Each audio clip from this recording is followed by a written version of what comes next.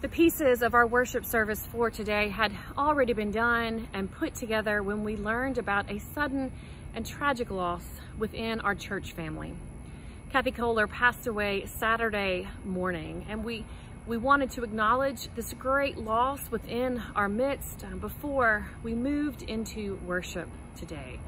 I don't think any of us will be able to move through worship without thinking and holding Rick, her husband, and her children in love and prayer. We love you. We are here for you. As we do enter into worship, we acknowledge this loss. We grieve and we mourn together. And we stand in the presence of a God who offers us a place to be caught when the ground beneath us is shaking. May it be so. Amen and amen. Deep breath.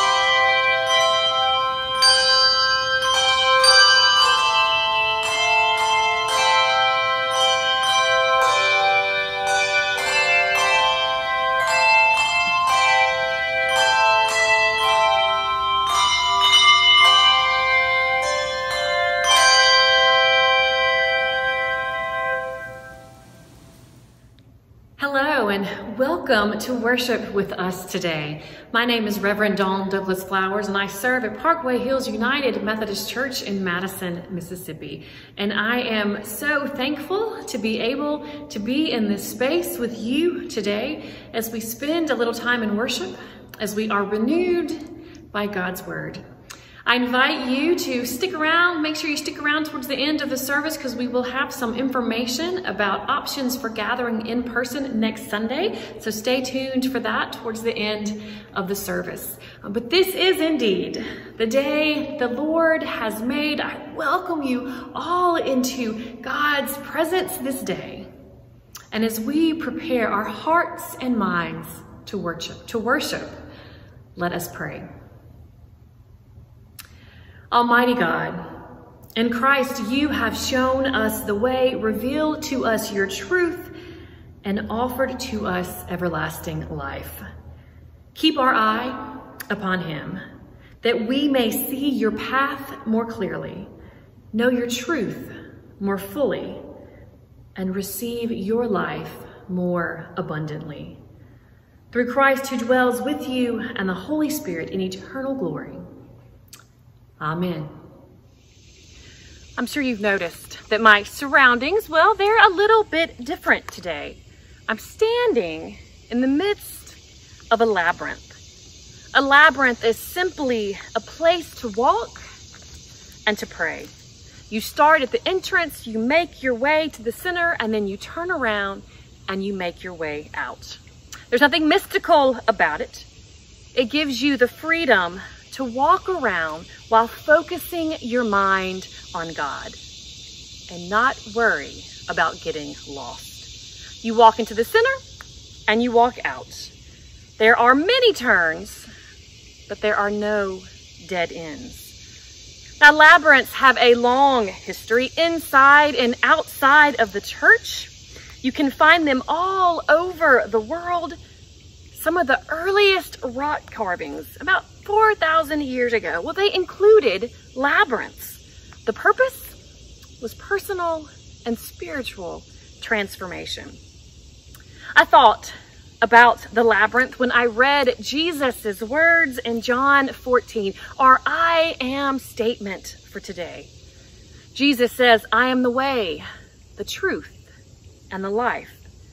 He shares these words with his disciples at their last gathering together before Jesus is arrested and his journey toward the cross begins. He is sitting at table, sharing table with those who would desert and deny him those who would watch Jesus' crucifixion and surely question what to do next, where to go from here, what does it all mean?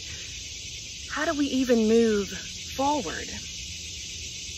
Jesus knows what is to come while he shares this meal with his disciples. So what he offers them is words of comfort and hope.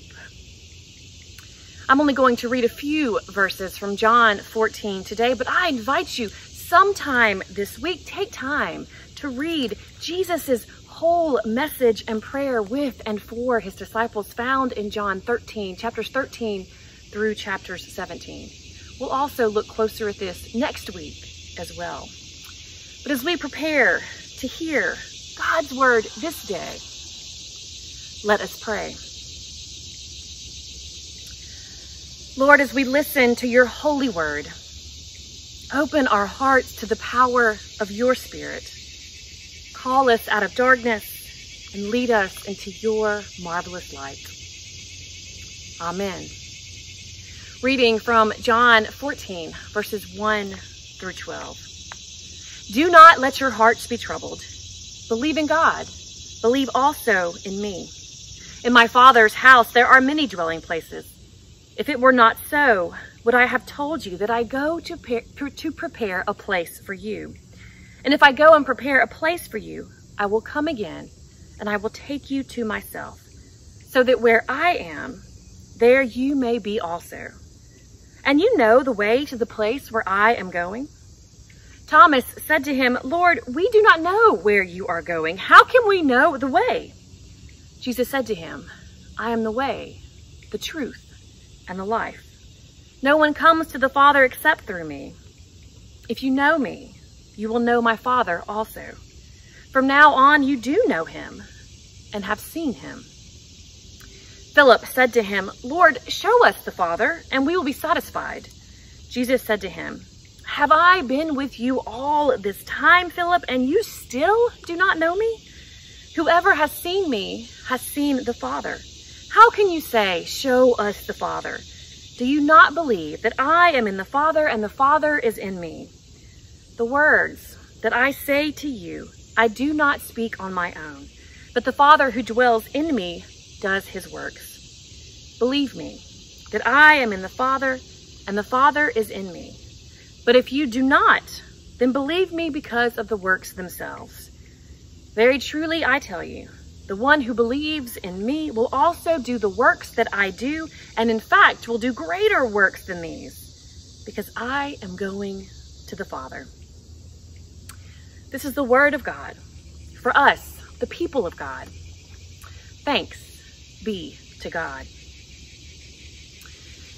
There's a prayer that is attributed to Thomas Merton. I've shared it many times. It's a pretty famous prayer because it is a prayer that names the reality of trying to hold our faith in the midst of the unknown. It begins, My Lord God, I have no idea where I am going. I do not see the road ahead of me. I cannot know for certain where it will end. Nor do I really know myself. And the fact that I think I am following your will does not mean that I am actually doing so. After naming this reality, this truth, one that we all can understand, Thomas Merton, well, he pivots in his prayer. He says, but, but I believe. It's a prayer that begins by acknowledging the unknown, the uncertainty, that there's so much we have no control over, that there's so much we just don't know.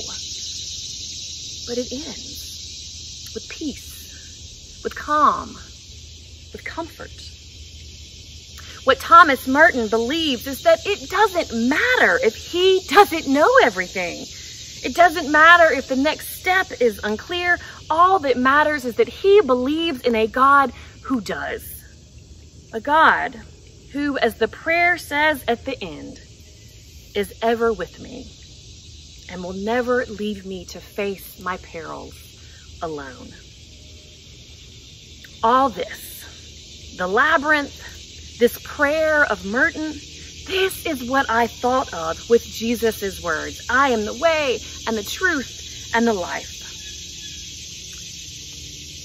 You know, when we think about our human condition, so often we think we know the way, the right way, the correct way, the righteous way. We think we are the ones who get to be the arbiters of truth. And we for sure think we know the pieces to create a successful and worthwhile and meaningful life. But what we learn over and over and over again in life is what Merton named. We have no idea. We cannot know for certain, nor do we really know ourselves. And the fact that we think we are following God's will, well, it does not mean we are actually doing so. You hear this in the disciples in this passage. Lord, we don't know. How can we know? Into this reality steps Jesus. I want us to think just a minute on that first word Jesus uses. I am the way. Now, the way, those two words, it's a central theme in the Old Testament and in the New Testament. The early Christians, well, they called themselves the followers of the way. In Acts chapter 9, verse 2, Saul, before his conversion experience to become Paul, he is still persecuting Christians and he asks for any found belonging to the way. The Psalms, well, they are full of this imagery of the way. Just listen to a few. The book of Psalms begins with, For the Lord watches over the way of the righteous, but the way of the wicked will perish. Psalm 32, I will instruct you and teach you in the way. 139, search me, O God, know my heart, test me and know my thoughts. See if there is any wicked way in me and lead me in the way everlasting. Psalm 86, teach me your way, O Lord, that I may walk in your truth. 143, teach me the way that I should go.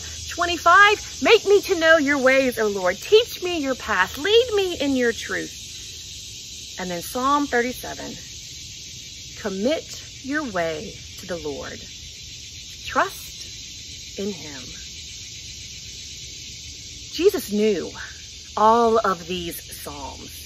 Jesus knew that when he said, I am the way, the truth, and the life, that his disciples would have also held these prayers in their hearts. And let me tell you, let me share with you just a little bit about what was going on when the Gospel of John was written. What was happening in the lives of the followers of the way. John was the last gospel to be written, probably around the end of the first century. Tensions between Jews and Christians was mounting. Nearly 40 years after Jesus' death, Israel revolted against Rome and was defeated. Many Christians at that time committed to non-violence. Well, they did not join in the revolt. So their loyalty to Israel was questioned, and many were turned away from the synagogue. You find this language all throughout the Gospel of John. They will put you out of the synagogue, it says. The Christians, followers of the way where they were cut off from the one place that made them feel connected to God and to God's people. On top of that, they became targets of persecution by Rome. So when the words of the Gospel of John were written and shared, Christians, followers of the way, would hear, I am the way, the truth, and the life, and they would find assurance that their faith was genuine, their connection to Christ real, their path one that leads to God. Don't give up. Hang in there. Do not let your hearts be troubled as John 14 begins. Believe in God. Believe also in me. I think back to that Merton prayer. I have no idea. I don't know. And I think of Bishop Will Willimon in his work, Incarnation, the surprising overlap of heaven and earth. And you know, he says the Gospels well, they are full of people who confidently knew what was what until they meet Jesus.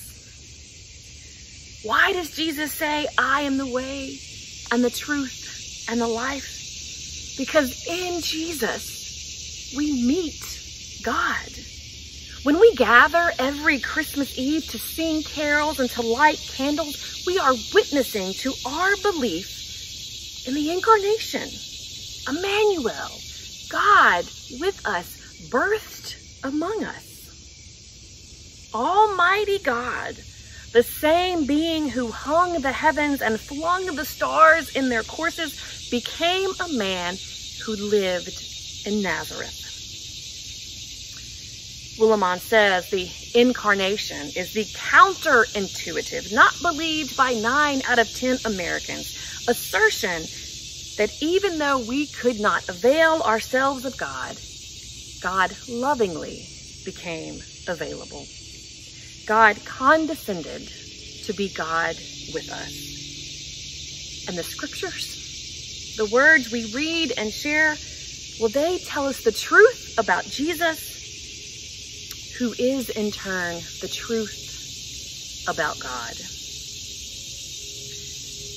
And when we look to Jesus, what do we see?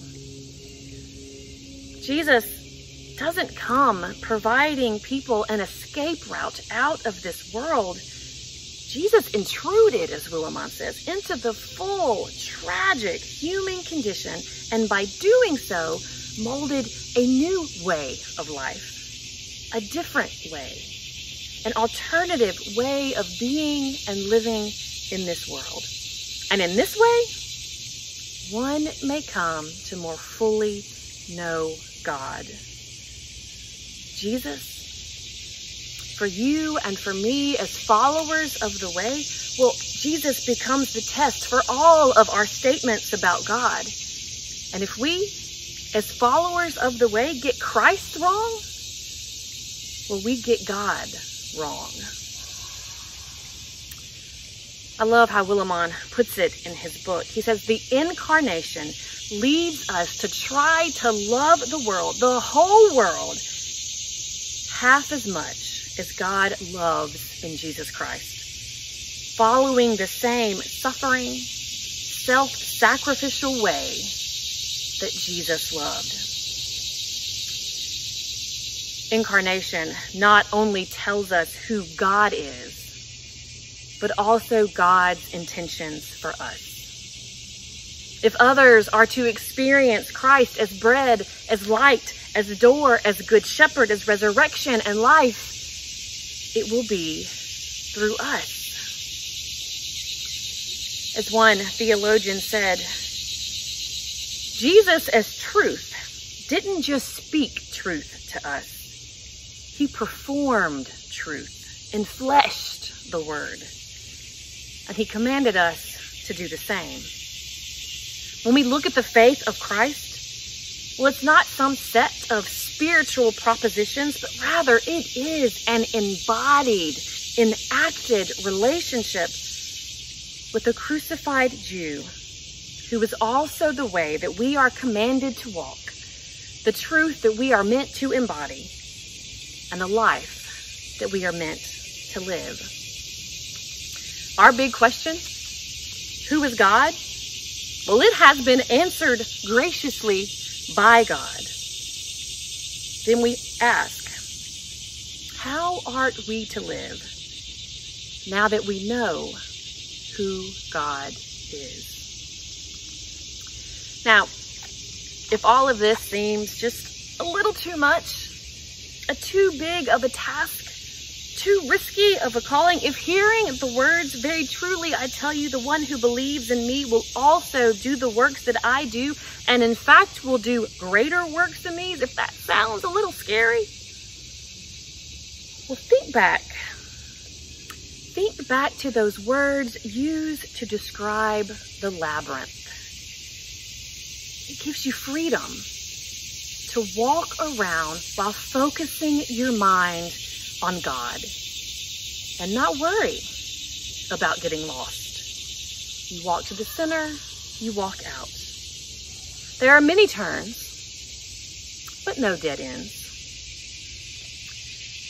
I am the way and the truth and the life, Jesus says. In me, you have the freedom to walk around while focusing your mind on God and not worry about getting lost.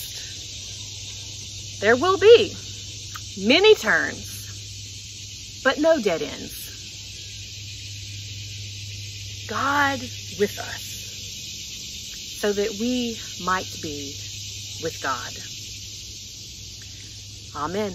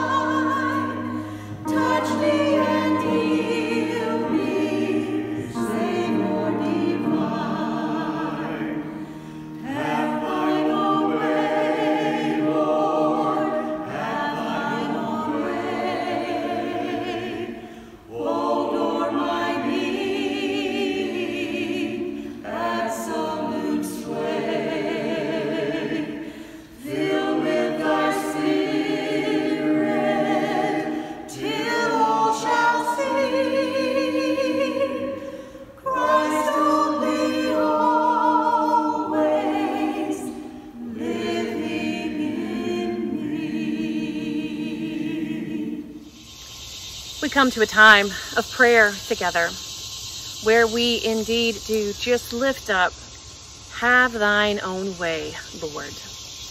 There are many, many needs um, in our lives, in our community, in our world.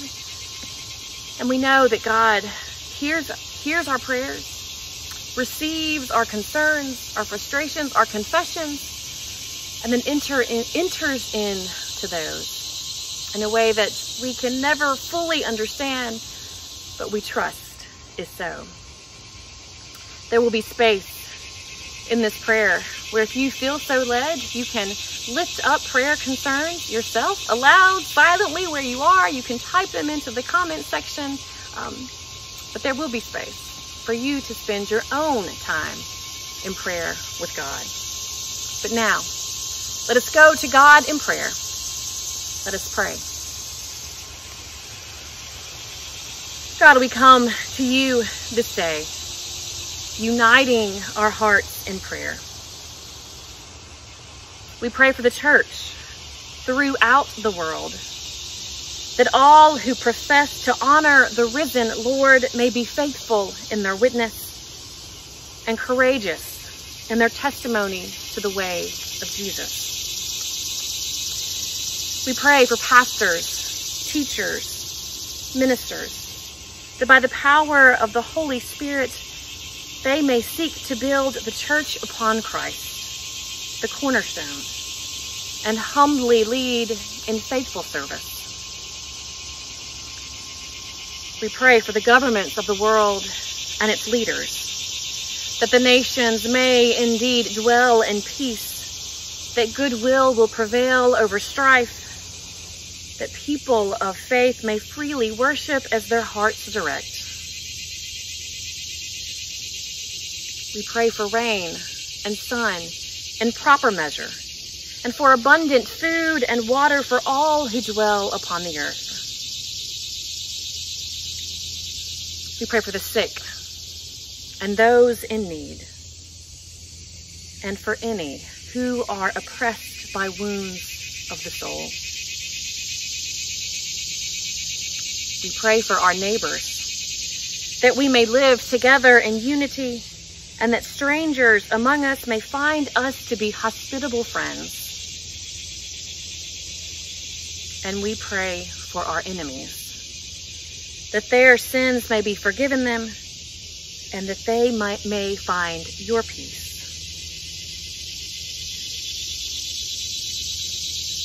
Almighty God, your Son promised to grant whatever we ask in his name.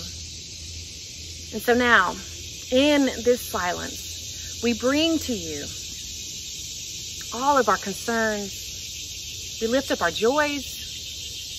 We lift up our confessions, our frustrations, our own needs, for there are many.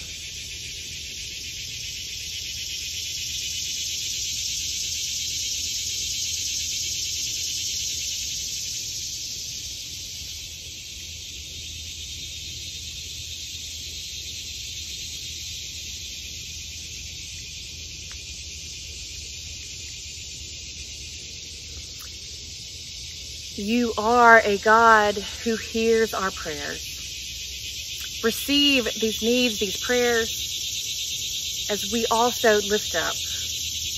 Have thine own way, O Lord. Have thine own way. By your Holy Spirit, send us out into this new week. Empower us to minister to the world as your faithful disciples, that our work may testify to what we pray and show forth your eternal glory through Jesus Christ, who taught us to pray, saying, Our Father, who art in heaven, hallowed be thy name. Thy kingdom come, thy will be done on earth as it is in heaven. Give us this day our daily bread, and forgive us our trespasses as we forgive those who trespass against us and lead us not into temptation, but deliver us from evil. For thine is the kingdom and the power and the glory forever. Amen. I want to thank everyone for spending this time with us, um, a time that hopefully has renewed your soul, um, has allowed you to hear and experience God's word um, through song, through spoken word, through prayer. If this place, if this space, if Parkway Hills has been meaningful to you in some way, I do hope that you remember us in your giving.